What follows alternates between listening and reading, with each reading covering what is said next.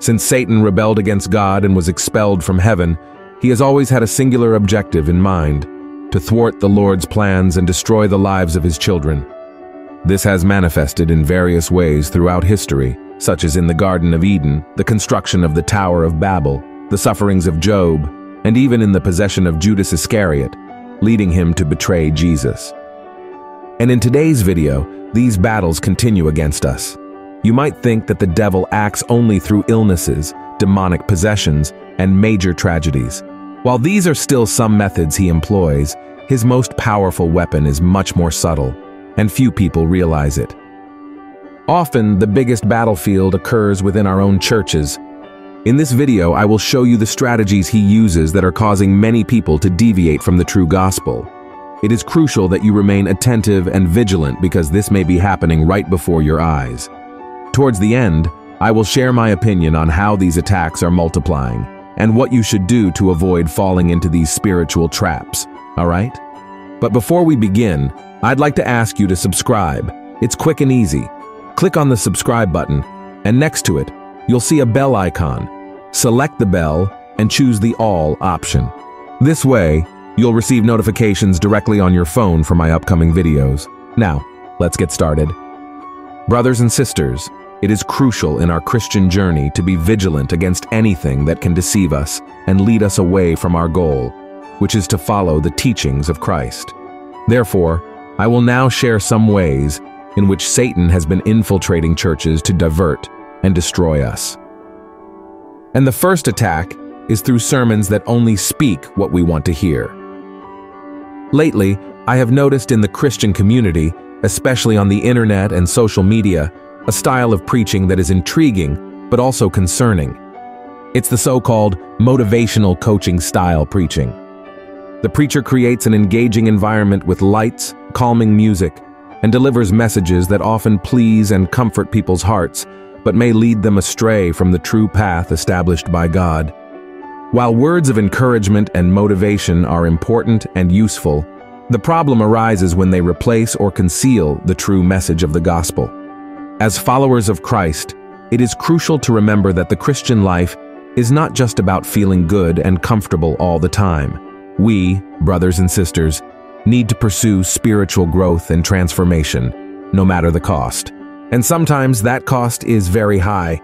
These modern sermons, most of the time, promote a distorted view of the Bible, suggesting ideas such as, God loves you as you are, you don't need to change, or if you're happy the way you are, just stay that way.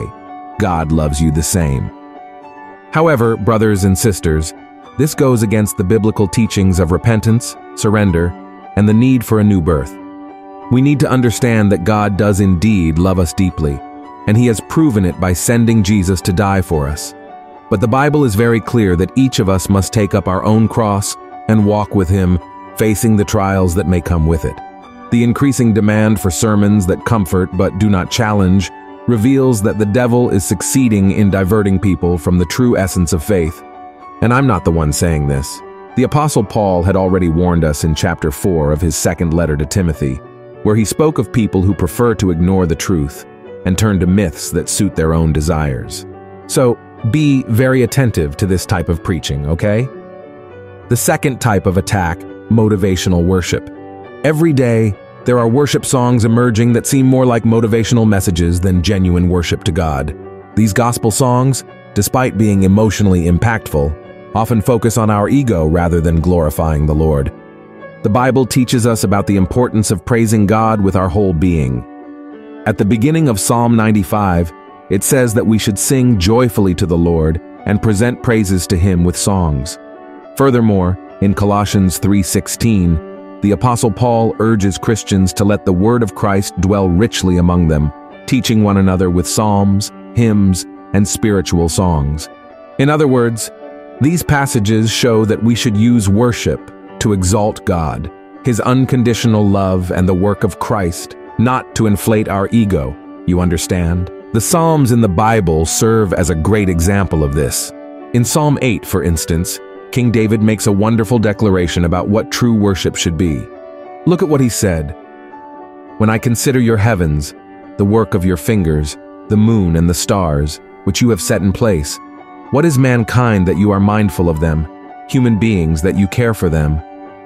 Notice that the king of Israel, who had every reason to exalt himself, acknowledges that man is small and insignificant in the face of the greatness of God and his creation. And now comes the third type of attack from the enemy, which is the emergence of new doctrines. This is one of the most dangerous types of attacks that has caused havoc within the church in recent times. The devil has taken advantage of messages like, God hates the sin but loves the sinner. He has deceived many people, making them believe that they don't need to change their lives. These doctrines can manifest in various forms, from sermons or songs sung from the pulpit to the acceptance of themes that we know are not in accordance with the Bible, such as gender ideology and same-sex marriage, not to mention that there are churches claiming to be Christian but adopting an LGBT theology. Moreover, an ecumenical movement has been implanted that unites different religious views with the discourse that all paths lead to God. The problem is that these false ideas are weakening the identity of the church and diverting Christians from their mission to be a light in the midst of darkness. The more the church resembles the world, the more it loses its strength and its testimony. That's why the Bible warns us not to conform to the standards of this world, but to seek transformation by renewing our minds with the Word of God. Only then can we overcome these schemes of the enemy. And the fourth type of spiritual attack is shaming the leaders raised by God. Another ploy of the enemy to weaken the church is to attack leaders and influential individuals within the Christian community. Satan works tirelessly to bring down those at the forefront of ministries because he knows that the fall of a significant person can diminish the strength of the church and create scandal for both believers and outsiders. This can be used as a reason for mockery or as a hindrance for others to convert to the faith in Jesus. A sad example of this malicious strategy is seen in cases of gospel singers who, after achieving success and influencing many lives, end up straying from the path and now appear negatively in the media.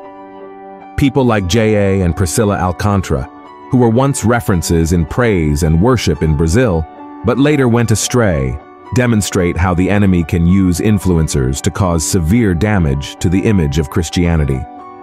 Similarly, many pastors, preachers, and evangelists who were mightily used by God in the past have been lured by money, power, or the pleasures of the flesh.